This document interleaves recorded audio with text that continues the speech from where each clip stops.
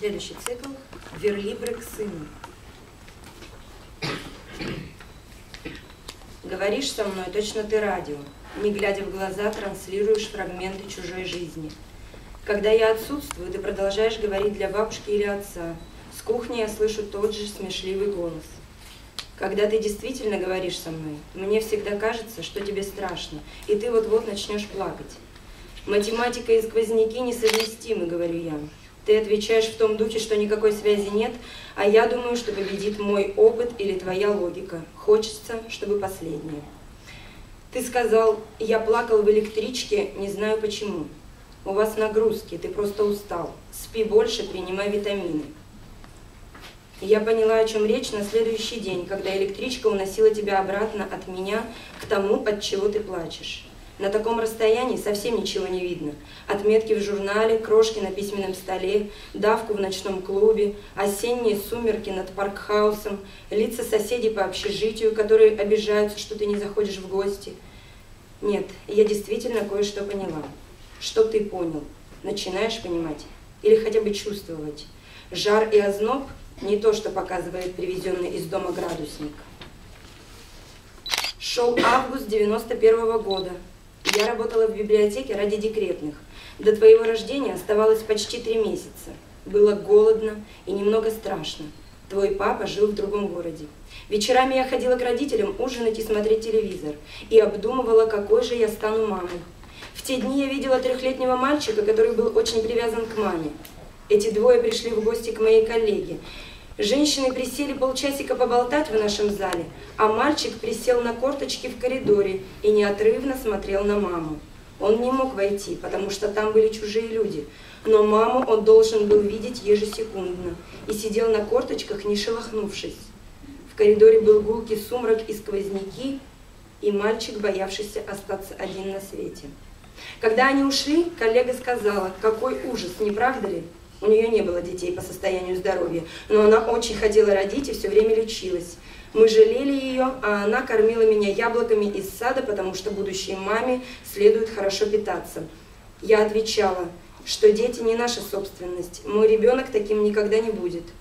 Позже я прочла следующее. Если ребенка рано отнять от груди, он вырастет более независимым. Так, в общем-то, и получилось.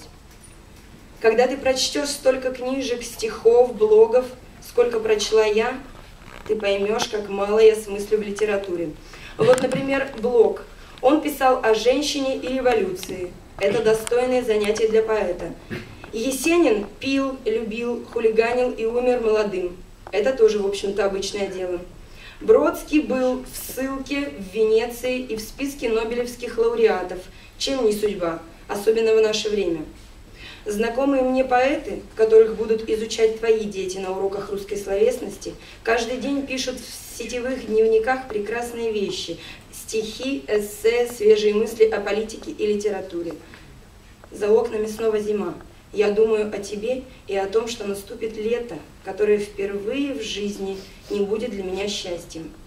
Не читай ничего, пожалуйста, кроме книжек по программированию. Я не хочу, чтобы ты обо всем догадался о том, как мало я смыслю в жизни и в любви.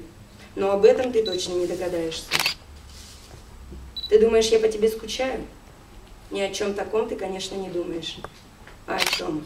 О чем? О чем? У кого я спрашиваю? То у ясеня, то у месяца, то у осени своей, золотой да красной. А ты у весны ФМ спрашиваешь, а я отвечаю. Не улетай далеко, маленький лето совсем короткое.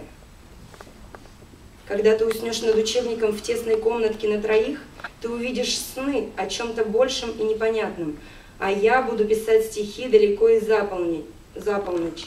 Не приду уложить тебя в кроватку, стянуть рваные джинсы, поцеловать влажный лоб, укрыть одеялом. Когда ты встретишь любовь, разлуку, друзей, врагов, почувствуешь вкус и запах собственной жизни – я буду курить в твоей комнате и писать письма на все континенты о том, что я одинока, стара, несчастна. Ты не станешь звонить мне, и я не стану. Мы расстались, как будто ничего никогда и не было.